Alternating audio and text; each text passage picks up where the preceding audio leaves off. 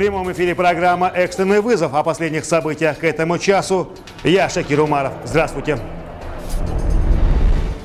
Серьезная авария при въезде в Шимкент произошла ночью 24 июня. На проспекте Байдебекби в лобовом столкновении сошлись автомобили «Лада 2114» с «Дейл Нексия». Как сообщили очевидцы, «Лада» двигалась со стороны Бузарыка к центру города.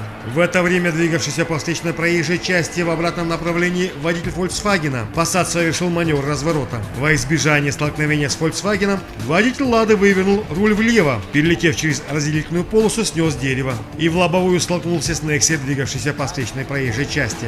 В аварии пострадал водитель «Лады», он был госпитализирован прибывшей каретой скорой помощи. Автомобилю нанесен серьезный материальный ущерб. Прибывшим полицейским предстоит разобраться в деталях происшествия.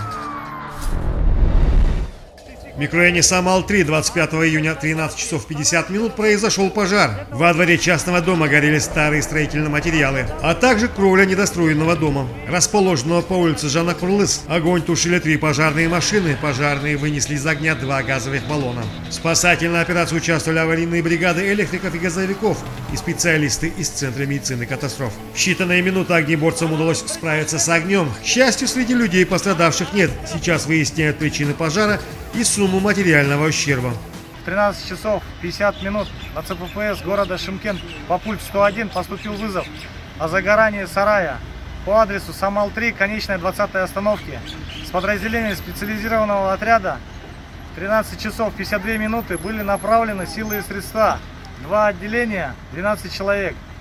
По прибытию к месту вызова в 14 часов 00 минут было обнаружено по адресу Самал-3, участок 5661, загорание хозпостройки на 12 квадратных метров загорание кровли дома размером 14 на 14.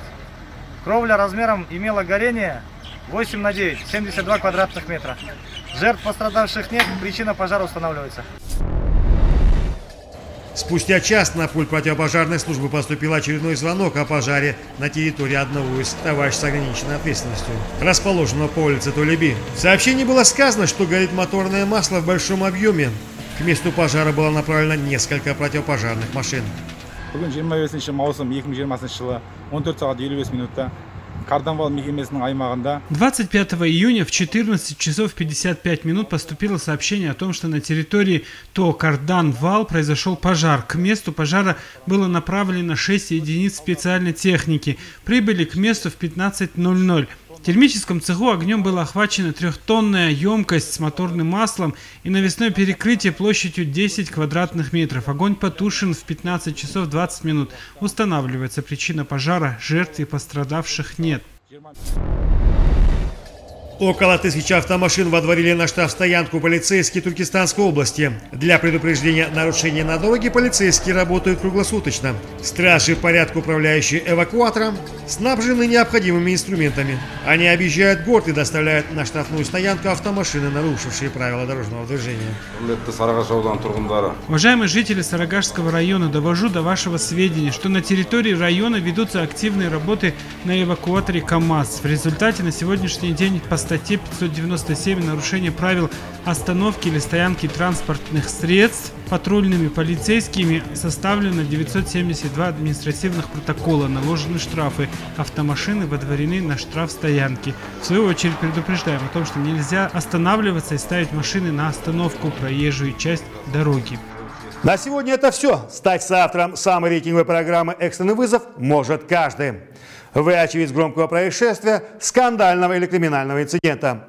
Вы столкнулись с произволом или равнодушием полицейских. Вы увидели что-то неожиданное и резонансное.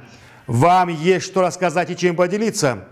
Пишите, отправляйте фото и видео на WhatsApp номер редакции плюс 7 701 730 57 53. Экстренный вызов обязательно поможет. Мы на связи 24 часа.